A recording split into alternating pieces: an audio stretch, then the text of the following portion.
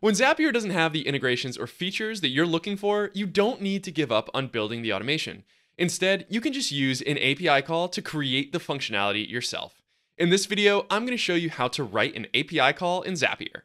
Hi, I'm Tom from X-Ray Tech, the workflow company. At X-Ray, we help companies streamline their processes with no-code and low-code workflow automation. If you'd like to see more videos about automation, AI, and productivity every single week, be sure to like this video and subscribe to our channel. Today, I'll walk you through some strategies that you can use to write API calls in your Zaps even if you're not familiar with coding. You can use these techniques for both the Webhooks by Zapier action or Zapier's new API request actions. Now let's get started.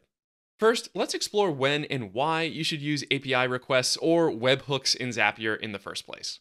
In most cases, you'll want to use an API call whenever Zapier doesn't natively support the functionality that you want to access. There are three main use cases for writing API calls in your Zaps. If Zapier doesn't have an integration for the app that you want to automate, you may be able to build your Zap with webhooks instead.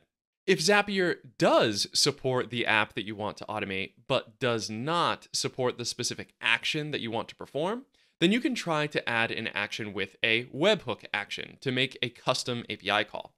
And finally, if Zapier supports your app, and your desired action, but doesn't have all the configuration settings that you want to use, then webhooks with an API request may be able to help.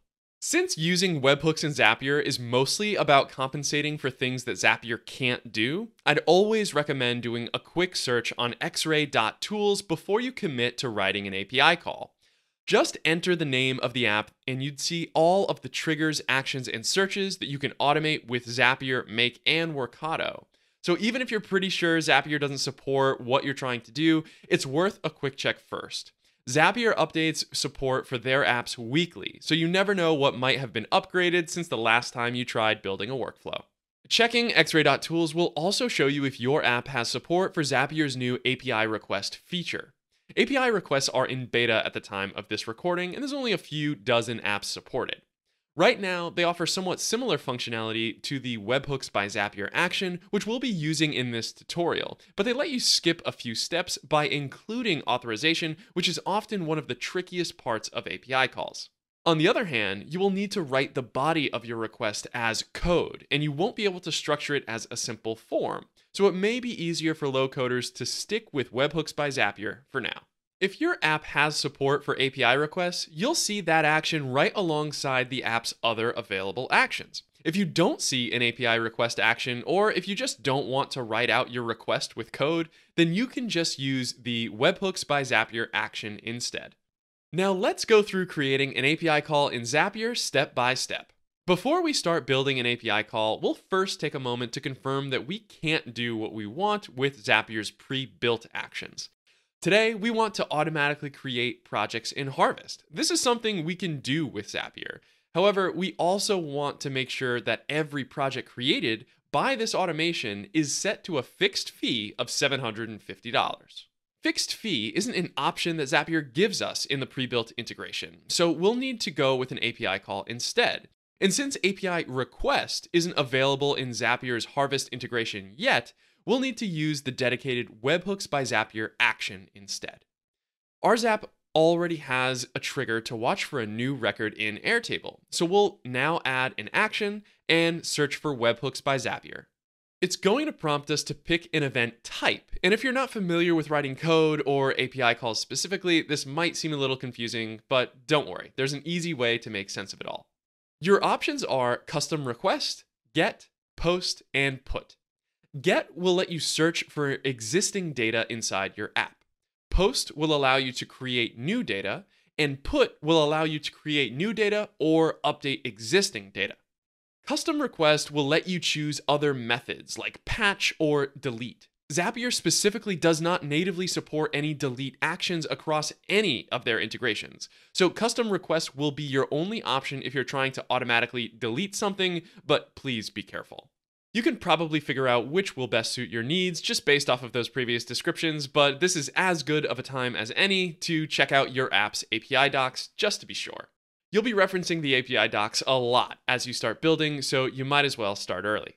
We'll just Google Harvest API docs, and it should be the first result. Harvest's API docs are very well organized and include lots of useful examples to help us get started. Unfortunately, not every app will keep neat and tidy documentation like this. But if you're struggling, you can always search for support from other users or just leave a comment down below and we'll try to help. Since we want to create a project, we'll scroll down to the Projects API section and click on Projects. Here, the doc explains all of the attributes that make up a project object in the app. These are all the settings that we have access to via Harvest's API. If it isn't listed here, then we can't add it, update it, find it, or delete it. Under Create a Project, we'll see more specific information about actually creating a project. Right at the top of the section, we can see the type of request we'll need to use Post. So we'll choose Post as our event back in our Zap, then continue. When you're creating an API call in Zapier, the best approach is to start with the bare minimum information and build up from there. Your first goal should be to successfully create an object with the webhook step. Just provide the required fields and type in static data for now.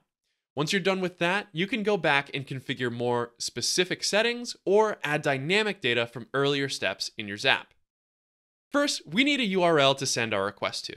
We can see the last part of the URL we'll need right here, slash v2 slash projects but we need a full URL in our webhook step to make our request work. At the bottom of the section, we can see an example of the full API call that will create a new project. In the first line after curl, we can see that URL we need to use. We'll just copy and paste it directly into Zapier, but without the quotes. If you're primarily a no-code builder, I'd recommend sticking with the form for the payload type. That will let you enter all of the data you need into each form field, similar to any other step in Zapier. With a form input, you won't need to mess around with specific coding syntax that will differ from API to API. If you're more comfortable with coding, you can choose another option like JSON or RAW, but we'll be sticking with form for today. Technically, these three formats are equivalent, so it's really up to you which one you are most comfortable with. Under this data section, we'll be filling in information for each attribute of our project object. We're going back to the API docs, and here we can see several parameters are bolded. These are parameters that are listed as required, so these are the ones that we'll start with. I'll go ahead and create a key value pair for each of them. Client ID, name, is billable, bill by, and budget by. These labels are keys, and next we'll fill in the values. The client ID will tell Harvest which client we want to create the project for. We'll grab the ID from the URL bar of the clients page in our Harvest account and paste it into Zapier. This is a common trick. Logging into your SaaS tool will often show you your object ID inside of the URL bar. This works for things like Notion, Google Drive, and most modern applications. Next, we'll name our project. The API docs indicate that this parameter accepts a string, which basically means it needs text. We can give our project any name we want. We'll enter it without any quotes or other special characters. Is billable is a Boolean parameter, which means it accepts values of true or false. Since we want our project to be billable, we'll enter true. Again, no quotes or any other special characters or capitals are needed here. Bill by also accepts a string, but in this case, the string has to match one of the four options indicated in the description. We'll bill by project and enter project exactly as it appears in the documentation. Budget by is similar to bill by. We'll enter person to set our budget based on hours per person. The remaining options can be left to their defaults for our API call. In most cases, you won't need to edit these. All of the data we want to create is in place, but we need to fill out the headers first. Headers are often used in API calls to identify and authenticate the user making the request. And just as a reminder, if you're using an API request action instead of the webhook, you won't need to include any additional headers for authorization. If we go back to the example API call that we found in our Harvest docs, we can see three lines of code flagged with an H. These are the headers that we need to include in our API call. We'll add each of them as keys, leaving out the colon and quotes. Authorization, harvest account ID, and user agent. For the values associated with authorization, we need to enter the term bearer and a space, then provide a personal access token from Harvest. We can just go to the developers section in Harvest to create a new token and copy it. We can also see our account ID in the same section, which we'll need next. Once we've pasted both of these into Zapier, we just need to provide a user agent. This simply identifies the user making the API call. I haven't been able to find specific information about what's required here. Harvest suggests using your email address, but it appears that you can put anything in this field. The API call will still work. This is an area of API calls that will differ for every application. The requirements in your header can be tricky, so be patient and test one thing at a time. Now that we have our data and headers all set, we can test this step. Success. We've created a project. If we check our Harvest account, we can see the project complete with all of the options we configured.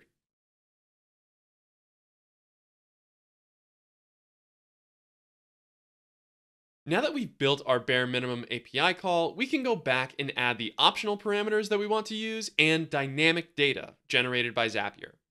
Building up a simple API call and testing your changes one step at a time will be a huge help when you inevitably run into some errors. It will make it much easier to isolate the change that likely caused the error in the first place.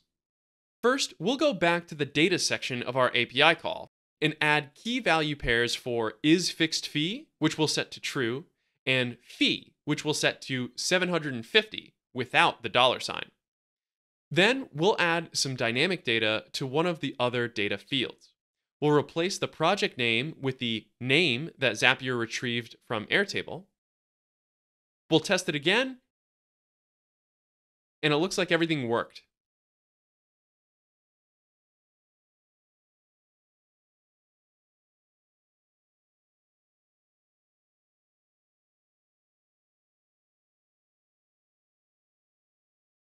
Since I mentioned it a few times earlier in the video, I'd like to give you a quick look at the other method of creating API calls in Zapier. As I said, the API request action is only available to a select list of apps right now, and you can check out that whole list by clicking on the resource board in the description down below. You can also search for your app in xray.tools to see if API request is a supported action by Zapier.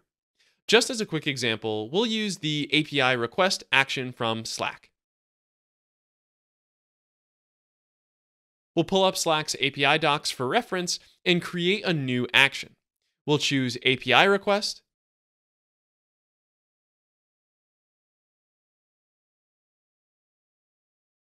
The API request options are somewhat similar to earlier webhook steps, but there are some key differences.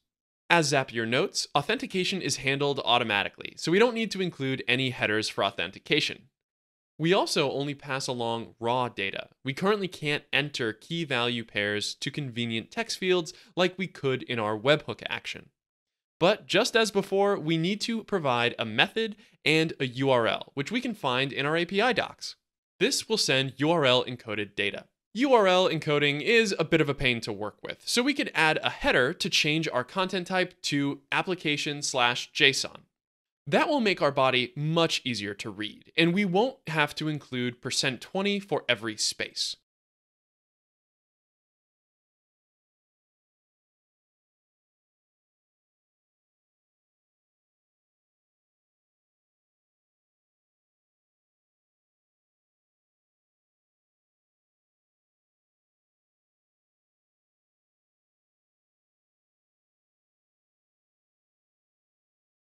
We'll update it with a real channel ID and our own text.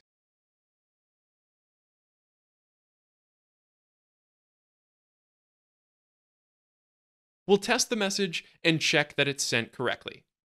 Note that when you use the API request action, your Zapier test may be considered, quote, successful, even if your API request failed. If you were able to send a request and get a response, Zapier usually considers that to be a success, even if it returns an error from your app's API. So make sure to review the output of the step and check your tool directly before continuing. All in all, I'd recommend that most low coders stick with webhooks by Zapier for now. API requests still have a lot of bugs to work out, and they'll require you to write out the entire body of the request, which can be difficult. If you're struggling to get authentication to work in a webhook step, then you could try out API requests instead. Otherwise, I think webhooks is the way to go, especially since requests are still in beta and limited to a few dozen tools. Before we wrap this video, I want to quickly go over the kinds of errors that you're likely to see as you try to make your own API calls. If you get an error, you'll see either a 400 response or a 500 response. If you see a 400, like a 404, that means there's an error in your configuration. Check your API docs again and make sure you've configured everything correctly. If you're still getting a 400 error, try searching on a resource like Stack Overflow for the issue to get more information. Again, keeping your API call simple to start will make it much easier to debug a problem like this. There will be far fewer variables that you need to test and control for. If you see a 500 message, then there's an error in the app itself. Wait a moment and try again to see if the issue resolves itself. You'd be surprised how often it does. If you keep getting a 500 error, check to see if the app's servers are down at a site like downdetector.com. Again, linked in the resource board in the description down below. You may have to wait a while for them to address the issue, but there's nothing that you can do to fix it right now. If the tool is down with a 500 error, the tool is down. You just have to wait. Ultimately, building API calls will often require a lot of trial and error as you figure out what's working and what isn't. Just take your time, read the docs carefully, and look for help when you need it. The comments section below is a great place to start. There's also thousands of people on Zapier forums, Stack Overflow, and other communities building similar things who can give you great advice. Tools like Zapier provide thousands of integrations for popular apps, but sometimes what you want to do isn't supported right out of the box. Even if you consider yourself a no code builder, making the jump to just a little bit of low code with some API calls and webhooks will unlock a ton of new possibilities for you. When you want to create an integration that Zapier doesn't have, don't be afraid to open up the API docs and start reading. If you've enjoyed this video, prove you're human and like and subscribe for more automation tips every single week. If you'd like to learn more about no code and low code automation, follow us on LinkedIn, Twitter, or Facebook, and you can find all of our content on our website at xray.tech. You can check all those links in the resources board below, and as always, don't forget, keep the flow.